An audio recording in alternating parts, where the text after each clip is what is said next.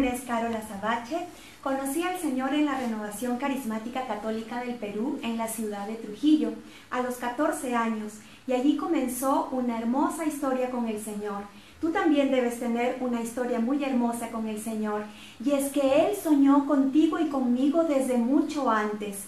En un tiempo en la iglesia se había olvidado al Espíritu Santo, pero el Señor buscó una amiga, una persona a través de la cual recordarnos que teníamos que regresar al Espíritu Santo. Y esta amiga es Elena Guerra. Hoy vamos a conocer un poco más sobre ella. Elena Guerra nació el 23 de junio de 1835 en Luca, un pueblo de Italia. Ella nació en una familia rica y desde pequeña mostró su amor por Dios y por la Virgen. Con sus padres tenían una casa de campo y cuando iban para allá, a los niños de la región los hacía jugar diciéndoles que cada uno era una flor. Por ejemplo, le decía a una niña, tú eres Violeta y como la Violeta es sencilla, entonces tú le vas a ofrecer sencillez a la Virgen María. Luego este juego se convertiría en uno de sus escritos. Elena desde joven estudió las Sagradas Escrituras y también trabajaba mucho por los pobres. En el año 1870, ella realizó una peregrinación pascual a la ciudad de Roma junto a su padre y cuando visitó las catacumbas de los mártires, tuvo una experiencia fuerte de Dios, donde ella sentía estaba llamada a consagrar su vida entera al Señor. Cuando ella regresa, forma una asociación de hermanas que luego se convertiría en una congregación dedicada a la educación cultural y religiosa de la juventud femenina. Ella decía que era muy importante la educación de los jóvenes porque era en esa etapa donde se formaba a las personas en las que habitaba el Espíritu Santo y les decía a las hermanas, los profesores tienen que ser santos, porque si son santos los profesores, serán santos los alumnos. Ella veneraba mucho el bautismo porque tenía una devoción grande al Espíritu Santo. Y cuando en su vida tenía que tomar una decisión importante, escogía el día de su bautismo para hacerlo, que era el 23 de junio, porque fue bautizada el mismo día de su nacimiento. Elena oraba así, ven Espíritu Santo, reina sobre mi alma sin obstáculos, sin interrupción. Llueva cada día sobre esta alma la gracia, la virtud, la fuerza del bautismo y de la confirmación. Hazme renacer continuamente en ti y que muera a mí y concédeme que de hoy en adelante estas no sean solo palabras, sino verdad. Vuestra sierva, amiga, esposa, virgen, mártir, víctima, con la lámpara en mi mano, divino esposo, te espero. Elena tenía una devoción tan grande al Espíritu Santo que ella empezó a tener experiencias místicas y estas experiencias colocaron en su corazón una preocupación grande por la poca atención que se le prestaba al culto y a la devoción al Espíritu Santo en la iglesia de ese tiempo. Entonces el Señor la inspiraba a hacer algo. Y ella le empieza a escribir al Papa León XIII. Le envía una primera carta el 17 de abril de 1895 y en esta carta le dice, Santo Padre, el mundo es perverso, está en crisis y los cristianos no elevan siquiera un pensamiento al Espíritu Santo, a aquel que puede renovar la faz de la tierra. Se han olvidado de la devoción al Espíritu Santo. Hacen muchas novenas, pero no hacen aquella novena que pidió el mismo Señor Jesús y que la misma Virgen Santísima con los apóstoles recitaron. Santo Padre, los predicadores hablan de los santos, pero no hablan de aquel que modela a los santos, que es el Espíritu Santo. Oh Santo Padre, solo usted puede hacer que los cristianos vuelvan al Espíritu Santo, de modo que el Espíritu Santo vuelva a nosotros y renueve la faz de la tierra.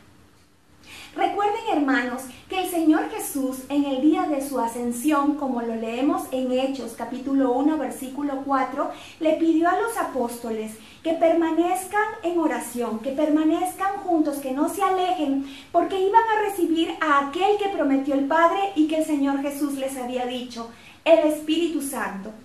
Y desde la ascensión hasta Pentecostés, durante esos nueve días, ellos estuvieron en oración. De allí viene la palabra novena, oración durante nueve días. Y esa era la novena de Pentecostés que el Señor Jesús les había pedido hacer y que en la iglesia se había olvidado. Y eso es lo que la Beata Elena Guerra le dice al Papa León XIII, que se regrese a hacer esta novena. Y es entonces que ella también escribe una novena de su autoría titulada El Nuevo Cenáculo. Ella reflexiona mucho sobre el cenáculo de la iglesia naciente, porque en el cenáculo es el lugar, ese piso alto, donde el Señor Jesús ofreció su vida como víctima a Dios por los hombres. Es el lugar donde Él instituyó el sacramento del amor, la Eucaristía. Es allí donde el Señor Jesús, después de resucitado, se apareció a los apóstoles. Es allí donde ocurrió Pentecostés. Y entonces la Beata Elena Guerra decía, nosotros necesitamos ahora un nuevo Pentecostés, pero para que eso ocurra necesitamos volver al cenáculo, hacer lo que se hacía en el cenáculo de la iglesia naciente, es decir, una oración fervorosa, perseverante, a la espera y viviendo los sacramentos. Esta novena ella lo envía al Papa León XIII. Y entonces, en el año 1897, ella tiene una audiencia con el Papa León XIII, donde él le da un nombre a su congregación, el nombre de Oblatas del Espíritu Santo, que hasta ahora existe allá en el pueblo de Luca y que iremos a visitar con los jóvenes de la RCC Perú algún día. Y en esta audiencia, el Papa León XIII la anima a que siga trabajando por difundir la devoción al Espíritu Santo. De este tiempo de correspondencia entre Elena Guerra y el Papa León XIII, el Papa destina tres documentos a la Iglesia. Dentro de ellos, la primera encíclica al Espíritu Santo, llamada Divinum Illud Munus, escrita en 1897. Elena Guerra siguió escribiendo y difundiendo acerca del Espíritu Santo. Escribió tanto que don Bosco la llamó la pluma de oro. Y sus hermanas decían que la escritura era para Elena el octavo don del Espíritu Santo. Elena es la precursora de la literatura carismática. Ella nos enseñó tantas cosas, hermanos, sobre el Espíritu Santo, nos dejó tanta herencia que nosotros por eso la conocemos como la abuela de la renovación. Y por eso a los jóvenes siempre les decimos, ustedes son los nietos de Elena Guerra, sobre todo cuando se dejan mover por el Espíritu Santo. En el año 1900, Elena le pide al Papa León XIII que consagre el siglo XX al Espíritu Santo entonando el himno Beni Creator Spiritus, que es un himno antiguo de nuestra iglesia.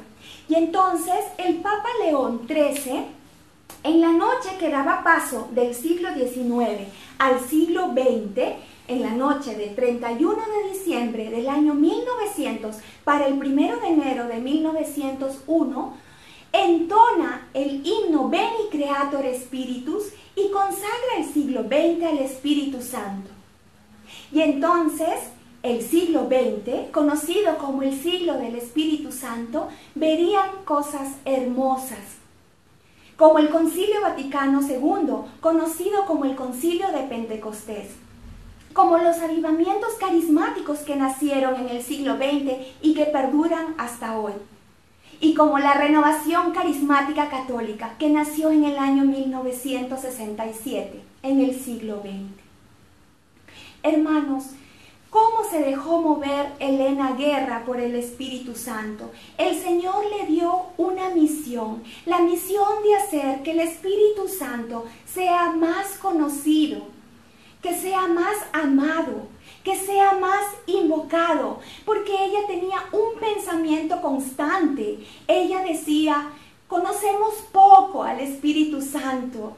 Si lo conociéramos más, supiéramos que Él está siempre con nosotros, supieras que Él siempre está contigo, tuvieras esa seguridad, incluso el día de tu muerte lo harías con alegría, porque sabes que no te va a dejar. Ella decía, retornemos al Espíritu Santo, amemos al Espíritu Santo, honremos al Espíritu Santo. Y con Él poseeremos la fuente de la consolación y de la alegría.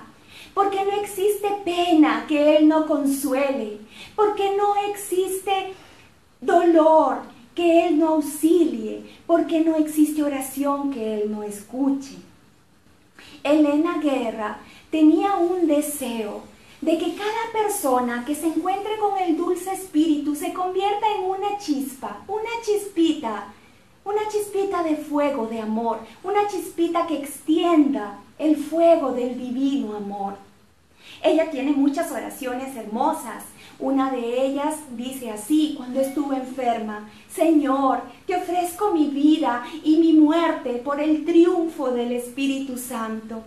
Y cuando se acercaba a su muerte oraba diciendo, Señor, hice lo que pude por el Espíritu Santo, sabes que fue poco, por eso te pido que ahora le confíes esta misión a otras personas. Y esas otras personas, hermanos, somos tú y yo. Esas chispas de amor somos tú y yo. Pero para que esté esa chispa encendida, para que sea una antorcha bien encendida, tenemos que volver al cenáculo, entrar al cenáculo cada día, invocar al Espíritu Santo, orar fervorosamente y perseverantemente. Yo he escuchado a varias personas y yo también lo he dicho en algún momento. Yo tengo muchos años en la renovación, pero saben hermanos, sería más hermoso decir, hoy viví un nuevo Pentecostés, porque cada día tenemos que vivir un nuevo Pentecostés, tenemos que orar y pedir al Espíritu Santo que nos renueve, que venga sobre nosotros, como decía Elena Guerra, continuamente. El Papa Juan XXIII realizó la primera beatificación de su pontificado días antes de convocar al Concilio Vaticano II. Y esa beatificación fue de Elena Guerra. Ese día, en su homilía, el Papa Juan XXIII, el 26 de abril de 1959, dijo, el mensaje de Elena Guerra es siempre actual todos sentimos una necesidad de una continua efusión del Espíritu Santo como un nuevo Pentecostés que renueve la faz de la tierra. El Papa Juan XXIII definió a Elena Guerra como la apóstol de la devoción al Espíritu Santo.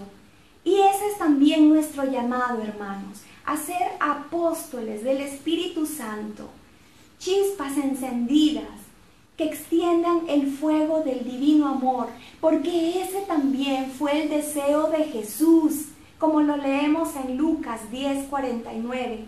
He venido a traer fuego a la tierra y cuánto desearía que ya esté ardiendo.